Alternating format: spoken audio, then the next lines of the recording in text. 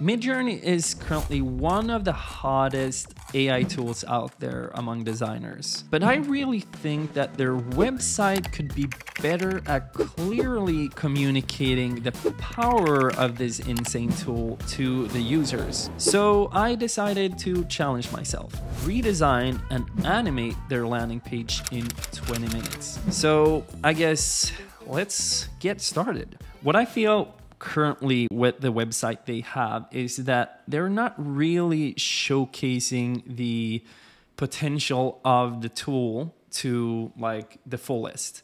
I think that they're putting a lot of um, emphasis on the people behind the project. They probably have different goals with this website than I am thinking of.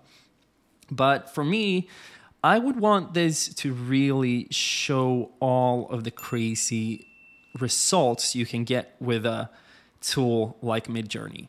So what I will be focusing on is making the landing page primarily about the output, about the images.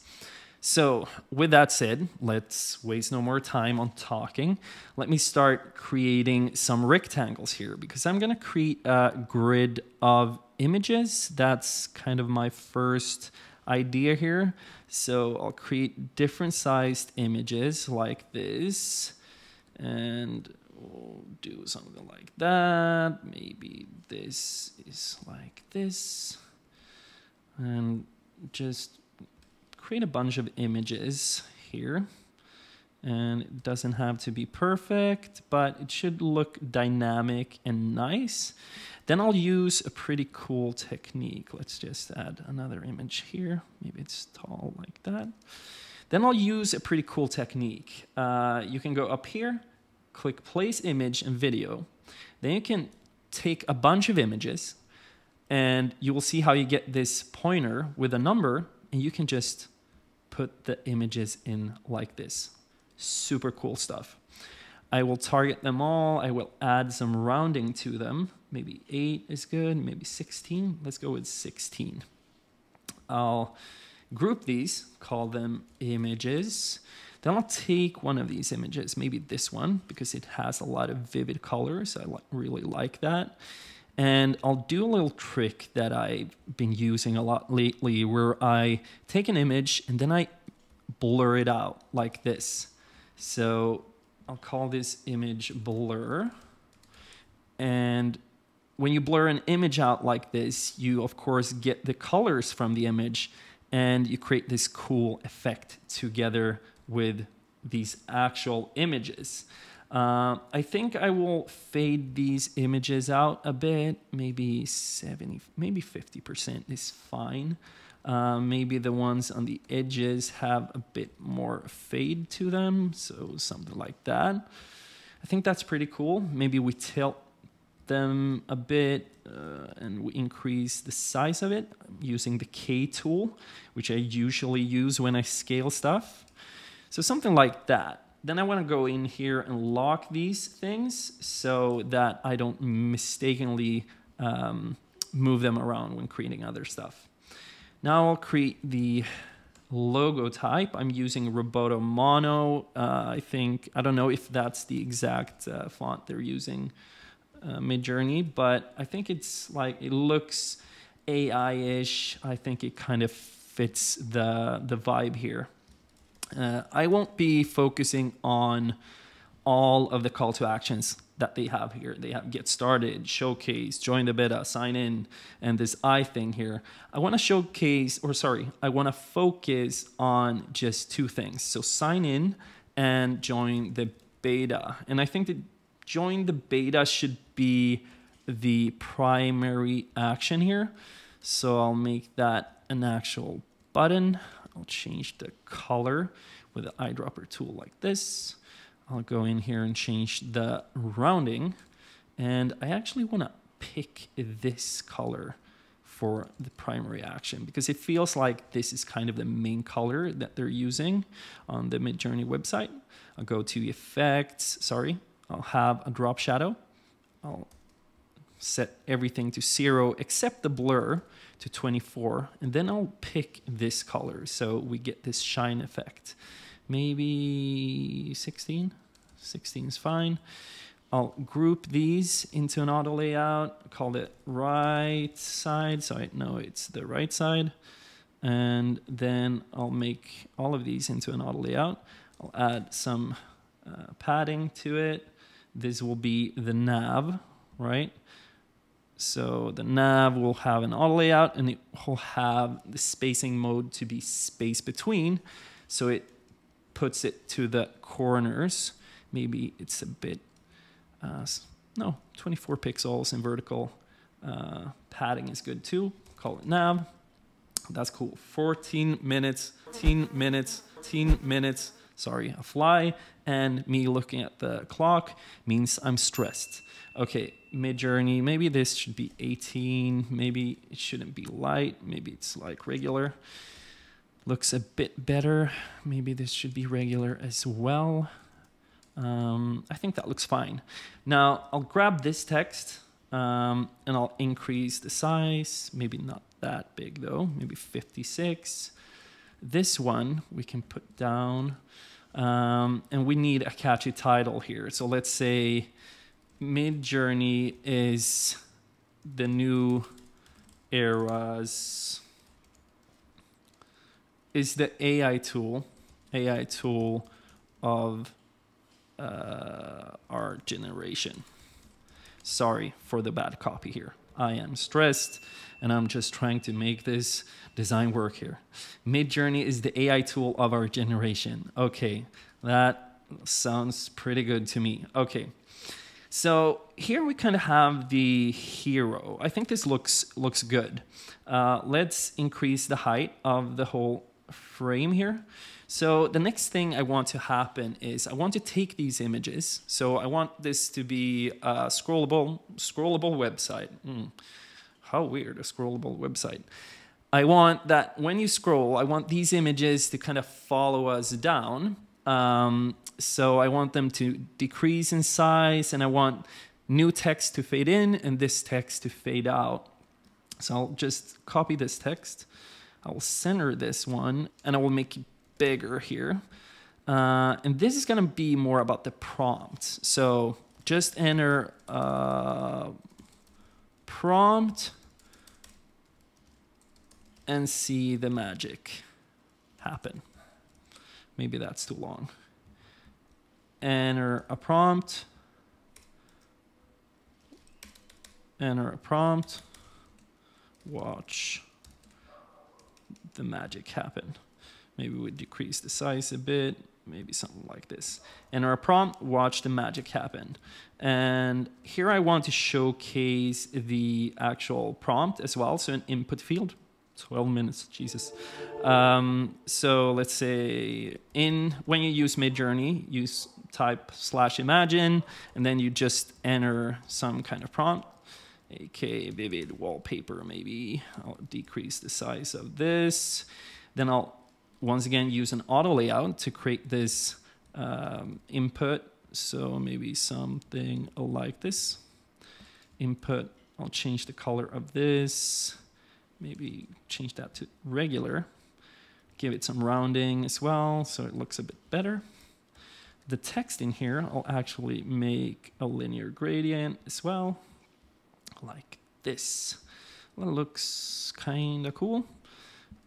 Increase the size a bit more. There we go.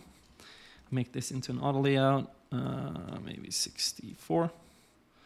And let's say uh, second heading, just so that I know later when we're gonna animate what things are. Uh, so proper naming will help.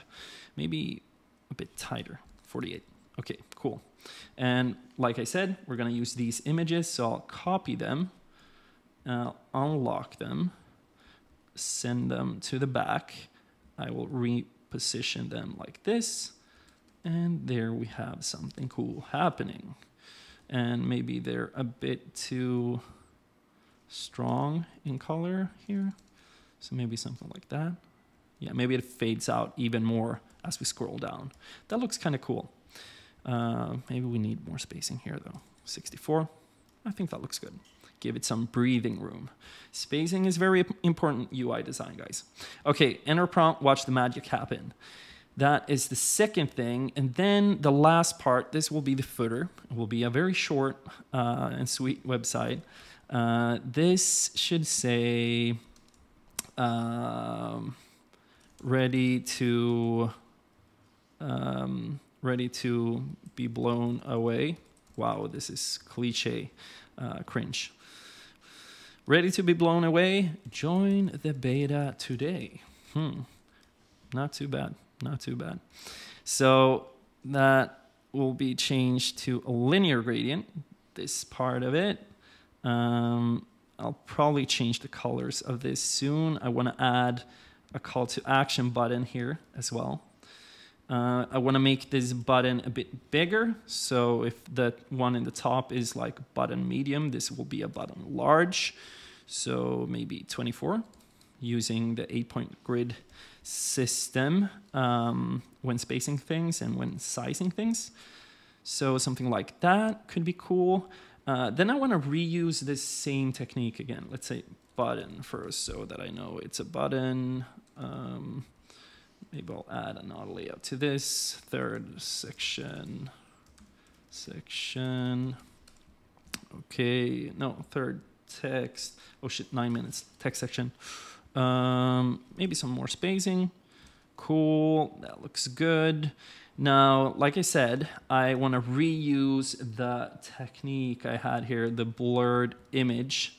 Um, so I'll unlock this, but maybe I want to use a different image for this one though. So this one, maybe. So yeah, this has some cool colors. I'll do the same thing again, change this to be layer blur 200. I think that's cool. We can change the shape of it and you can see how the colors change a bit based on that, based on shape. Send that to the back here. Um, decrease the height of this a bit.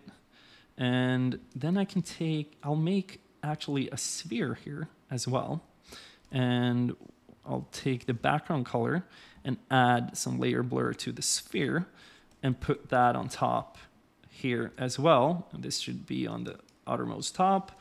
I want to change the linear gradient to have like this color, but maybe stronger, maybe stronger, maybe stronger. Um, something like this, increase like that. And actually, we'll change the button color here as well to map towards this so that it looks a bit more aesthetic. Uh, okay, so join the beta, something like that. We'll add some links here in the bottom, seven minutes, Jesus. Um, so we'll have, uh, let's say we can have about, we can have, what else? Careers, contact. Let's go for with this for now. I am too stressed to come up with all of these things. Okay, there we go. About careers contact. Looks pretty good. So we have our footer and we have the full site here. Looks pretty cool, uh, but it's time to animate and we have six something minutes. So I'll grab this, drag it over here to animate the page. Um, and what I want to do here, I want to have scroll based interactions. And when I create scroll based interactions, I usually create a bunch of frames and I fade things in based on drag interactions. So I'll show you how that works. What we need in the beginning here is just the top frame, or sorry, the top section. So this is what we need. So this will be the first frame. Maybe we even want some fade in animation in the beginning. Let's see if we can do something cool with that. Uh, so I'll unlock everything so that we can move stuff freely. Um, so when the site loads, I want this text to fade in. Um, these images, maybe uh, like, let's see, maybe they fade in as well. This blur also fades in and grows in size. And maybe the nav just kind of comes from the top like that. And now if we go here, add a flow starting point. So Midjourney flow, five minutes, Jesus. Um, and here we'll just have uh, after delay, 1000 milliseconds, we're gonna have smart animate animation and 600 uh, 600 spring animation slow should be fine. Uh, let's play it. I know that this takes a while because my internet is slow. So let me continue uh, actually creating frames while it's loading. So the next thing that happens when we scroll is this text is gonna go towards the top. So we mimic a scroll interaction. Same with the um, header. If we want that to disappear, maybe we don't want it to disappear. Maybe it can stay in the top. Uh, the images here are gonna decrease in size like this, right? We fade them out. I think the blur will move towards the top and be faded out as well uh, and we'll have this tech, like this whole thing appearing. So this will probably come from the bottom. And sorry, this in the in this frame, this is like the end frame. This is what we want to happen. So this is what it will look like when we get here. And before we get there, we need these items to be in the previous frame. So I'll push them down, we'll fade them in, push them up into this frame, and then the next step after this will be to fade these things in as well. So as we scroll again, this is gonna fade out. This is gonna, maybe this like increases in size and fades out. Maybe that looks cool. Um, we'll take three minutes. Holy. Um, we'll take these things here and we'll paste them in here. Drag them up like that. Okay, so this is the end state. This is the last scroll. And before we get to that scroll, we're gonna fade these things out and we're gonna drag them down. And maybe we want them to be a bit unsynchronized so that the movement of the stuff is uh, a bit random. So I'll change the position individually of these things as well. I think that will look cooler. Two and a half minutes. Okay, so let's see, has this uh, loaded? Boom. Okay, cool. We have this awesome fade in animation when you reach the website. Now, when we grab this text, I'm gonna have a drag interaction here. And I wanna make that drag interaction a bit slow. So I'll add some more um, time to it. And then when we drag this, we're gonna go here, same thing. And then we can have from here, we can even go back. So on drag, we go back. And from this too, we can go back on drag. Okay, one minute, 40 seconds. Let's see if this works. So we have, it fades in. Por favor, what is happening? Okay, so I scroll, it fades in, this, these images kind of fade, fade out and decrease in size. This pops up from the bottom and then boom. As I scroll again, we get to the bottom to the footer. That looks pretty cool, actually. Boom, boom. Uh, that's a bit too quick. Let's see. Boom. I think it's depending on how I scroll as well. Boom, boom.